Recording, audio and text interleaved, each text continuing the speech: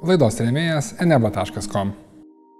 Sveiki, su jumis beveik niekada neatostagaujantis Vaidas ir savaitinė žaismo DNR naujienų laida iš kiek kitos vietos, nes studija šiandien ir vėl iš manęs atėmė Baltic Masters pasiruošimas sekmadienio transliacijai. Jau rytoj trečiasis sezonas League of Legends kovų siekiant išsiaiškinti Baltijos geriausius Game on Twitch kanale.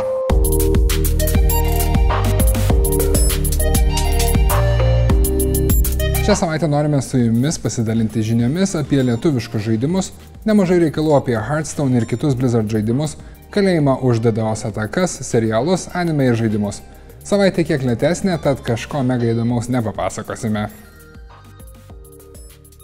Naujienas pradėkime nuo vieno labai smagaus lietuviško projekto Į mūsų pašto dėžutę atkeliavo laiškelis iš Agnės, kuri norėjo pasidalinti savo komandos kūriamų žaidimų. Project Zero Death yra dešimties žmonių komandoje kūriama 2D komandinė šaudyklė platformeris, kuriame galima rinktis įvairius herojus su skirtingais sugebėjimais ir ginklais, juos kustomizuoti ir pritaikyti savo, o kad žaisti būtų smagiau, į kompaniją galima pasikviesti draugų.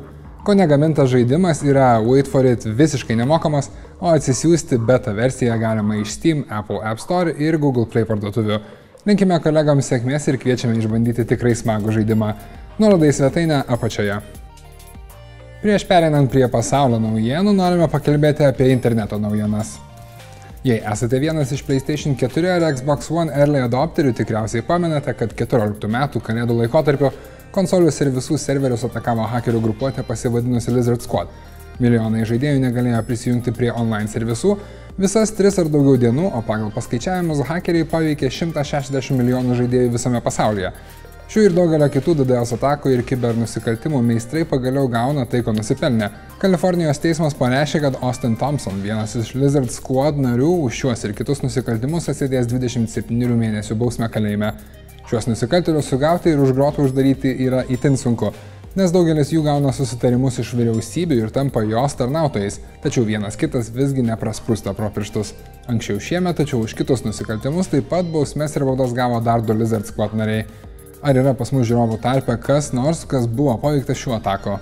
Lyg iš gėdro dangaus, Capcom driokstelėjo naują žaidimą. Tiesa, daugeliui tikriausiai teks nusivilti. Tepen pavadintas žaidimas yra skirtas mobiliesiems telefonams ir yra kortų žaidimas kiek primenantis Hearthstone ir naudoja įvairius Capcom visatos personažus, tarp kurių yra Chen Li, Mega Man, Monster Hunter personažai, Ryu, Morrigan ir net Veskeris. Žaidimas po truputį paleidžiamas visame pasaulyje, o Lietuvoje jo parsisiųsti dar negalima. Tačiau žadama, kad greitų metų Tepen išbandyti galėsime visame pasaulyje. Žaidime naudojama gyvo laiko mano stulpelio mechanika, tad žaidimas maišo Hearthstone taktiką su Crash Royale veiksmu. Viskas, ką galime pasakyti, tai kad Capcom ne tik pavėlavo jo tačias traukinį, bet ir Battle Royale, todėl leidžia prieš penkis metus dominavusio kortų žanro žaidimą. Nors praėjusią savaitę laidos nedarėme, vis tiek sugavome išties įdomią žinę iš Blizzard. Kartu su nauju Hearthstone žaidimo atnaujinimu žaidimo kuriejai planuoja išplėsti pagrindinį kortų rinkinį pridedami 10 naujų kortų.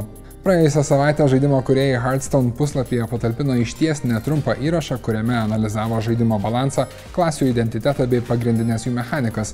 Įrašo esmė paaiškinti žaidimo kuriejų filosofiją, kuriant klasių identitetą, o taip pat pristatyti ir naujienas standartiniam kortų rinkiniui, kurio žaidėjus pasieks su kitu didžiuliu žaidimo išplėtimu.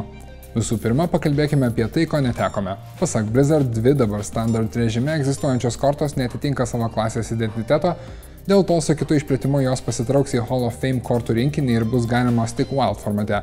Šios kortos tai Rogue Vanish burtas, leidžiantis šiai klasiai greitai nuvalyti lentą, gražinant monstrus į savininkų rankas, bei Priest Mind Blast burtas darantis žalą, kuris, pasak Blizzard, prasilenkė su pagrindinė Priest klasės filosofija. Vietoje šių kortų gavome naujas, kurios labiau atitiks klasių identitetą - Plaguebringer plėšikams ir Radiant šventikams. Negana šios poros Blizzard taip pat atskleidė ir keletą kitų naujų kortų Raganiai gaus naują stiprų demoną su tontu, druidai naują burtą Gift of the Wild, kuris leis pastiprinti savo monstrus ir duoti jiems ton savybę, o paladinai galės pasinaudoti naujų burtų Righteousness ir sustiprinti savo monstrus, duodant jiems Divine Shield burbuliukus. Šalia šių klasėms skirtų kortų į klasikinį kortų rinkinį taip pat bus pridėti penki nauji reti monstrai, kuriuos matote ekrane. Kol kas dar anksti prognozuoti, kaip šie atnaujinimai įtakos žaidimą, tačiau mums be galo malonu matyti, kad Blizzard pagaliau nusprendė naują žaidimo kortą siūlyti ne tik naujų išplėtimų pavydalu. Tai suteiks gerokai daugiau laisvės, kuriant savo kaladę ir tikėkime, šiek tiek paįvairint žaidimo metą. Jei įdomu paskaitinėti daugiau, nuorodą į Hearthstone blogo įrašą paliksiu video aprašymę.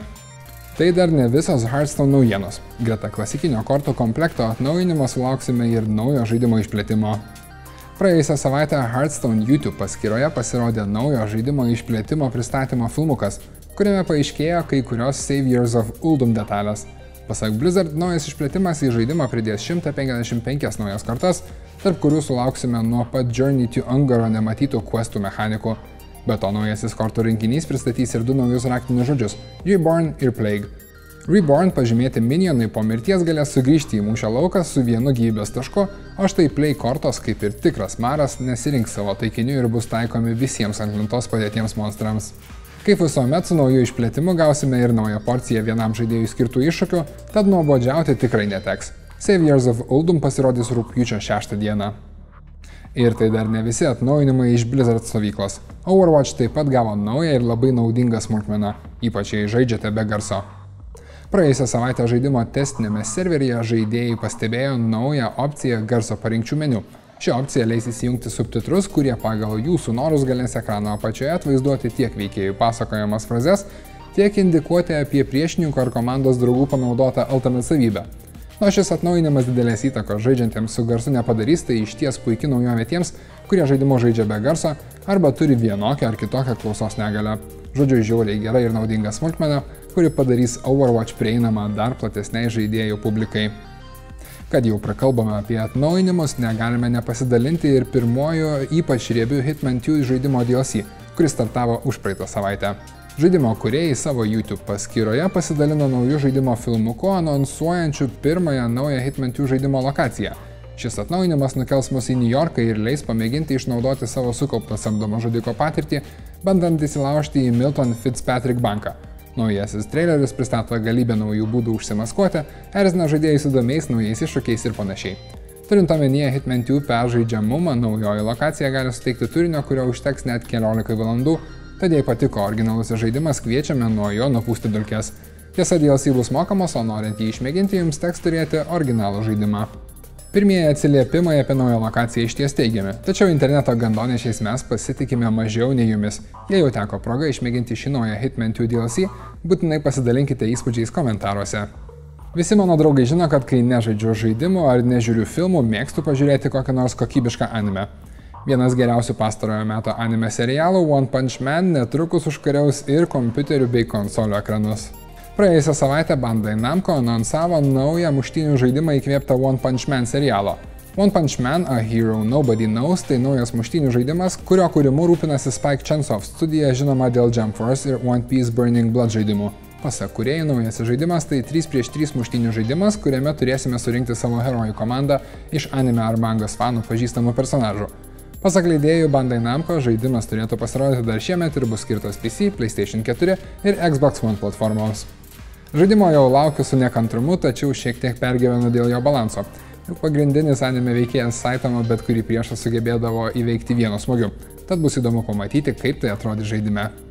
Praėjusioje laidoje nemažai dėmesio skiriame MMORPG gigantui WoW, tačiau šiandien turime naujieną ir Final Fantasy XIV žaidimo fanams. Apie naują žaidimo išplėtimą kol kas nekalbėsime, tačiau privalome pasidalinti žiniomis apie naują su žaidimo visada susijusi projektą - Final Fantasy XIV TV serialą, kurį anonsavo Sony Pictures Television kompanija. Pasak pranešimo, Final Fantasy XIV bus adaptuotas į 14 serijų live action TV serialą, kuriame kuriejai ketina tyrinėti santykių tarp magijos ir technologijos. Skamba išties intriguojančiai, tačiau detalių apie projektą kol kas labai nedaug. Žinome tik tiek, kad jo kūrimu rūpinasi HiveMind studija, kuri taip pat atsakinga ir už žaganę užžygį į Netflix. Kol kas projektą vertiname atsargiai, nes tai jau ne pirmas Final Fantasy bandymas išsiplėsti už skaitmeninio pasaulio ribų. Užpernai Netflix platformoje pasirodė japonų kurtas ir labai vidutiniškas kokybės Final Fantasy Dead of Light, kurio siužetas sukosi apie sunaus ir tėvo santykius žaidžiant šį populiarų MMO.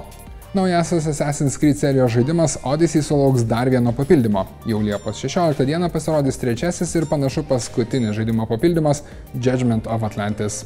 Ubisoft tikrai negali po leidybinio dėmesio Odisėjai. Serijinis trijų dalių žaidimo papildymas Fate of Atlantis pasieks finalą jau šį mėnesį. Šios paskutinės dalies istorija seks Field of Elysium ir Torment of Hades įvykius ir iš jau pasirodžiusio kadro panašu, jog gausime progą aplankyti Poseidono karalystę Tai ne pirmas trijų dalių žaidimo papildymas Odisėjai. 18 metų eigoje žaidėjus džiugino dar vienas taip pat serijinis papildymas Legacy of the First Blade. Be žaidimo papildymų Ubisoft į žaidimą įtraukdavo vis naujų bei nemokamų papildomų funkcijų. Pavyzdžiui, New Game Plus režimas ar vos prieš keletą savaičių išleistas užduočių Quest kūrimas. Ir tai buvo visas naujienos, kurias parengėme jums šiandien. Kaip visada naujienų pabaigoje dovanojame prizą iš už praėjusios savaitės. Moonlight ir Steam raktas atitenka Vytautui P. Sveikiname, parašyk mums žinutę Facebook'e, kur ir atiduosim prizą. Na, o šią savaitę mūsų draugai žaidimų parduotuvė neba.com vienam iš pakomentavusių jums padovanos Dead by Daylight Steam raktą. Na, o komentaruose padiskutuojam apie vieną iš šią savaitę aptartų temų. Ar įsijungsit lietuvišką Zero Death? Ar vis dar žaidžiat Overwatch ar Hearthstone? Apskritai, ką žaidžiat šią vasarą? Ar jau bandėt Hitman 2 DLC ir žinoma, ar laukiat naujo Assassin's Creed DLC? Susirašom komentaruose. Prieš atsisveikindamas primenu, kad palaikyti mus ir pastatyti mums kavos galite ir paremdami mus mūsų kofi puslapyje. Nuoroda apačioje. Mūsų draugai Eneba taip pat dalina dovanas ne tik konkurso nugalėtojams.